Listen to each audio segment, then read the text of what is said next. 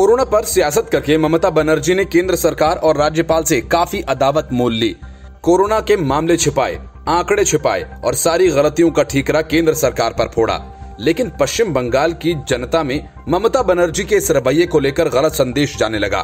पिछले कई महीनों से चुनाव की तैयारियों में जुटी ममता बनर्जी को पार्टी के नेताओं ने ये बताया कि अब सारा का सारा किया धरा कोरोना पर गलत सियासत की वजह से बेकार हो गया और पार्टी फिर वहीं पहुँच गई, जहाँ वो लोकसभा चुनावों के दौरान थी।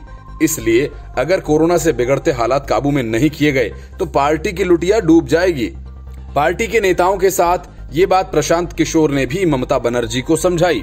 ममता बनर्जी को जैसे ही इस बात का एहसास हुआ कि वो गलत पिच पर बैटिंग कर रही हैं, तो उन्होंने तुरंत मैदान बदलने का फैसला किया। सत्ताधारी पार्टी टीएमसी ने प्रदेश में कोविड 19 को लेकर अपनी रणनीति पर फिर से काम करना शुरू कर दिया है। सबके लिए पार्टी ने न सिर्फ़ राज्य में कोरोना टेस्टिंग की संख्या को बड़े स्तर पर बढ़ाने का फैसला किया बल्कि लॉकडाउन के नियमों में भी काफ़ी सख्ती लाई गई।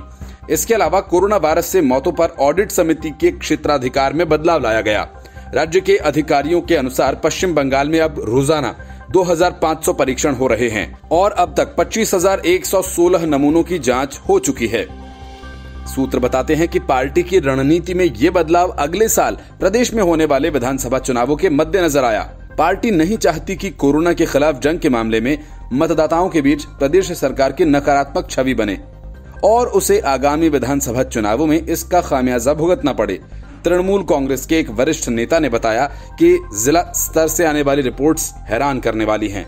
लोग कोरोना संकट को लेकर प्रदेश सरकार के कुप्रबंधन से काफ़ी परेशान हैं। उन्होंने बताया कि कोविड 19 के प्रबंधन को लेकर लगातार पश्चिम बंगाल सरकार पर सवाल उठ रहे हैं इस दौरान केंद्र सरकार की लगातार आलोचना को सुनने वाला कोई नहीं है उन्होंने बताया कि राज्य सरकार पर जमीनी स्तर से दबाव बढ़ रहा है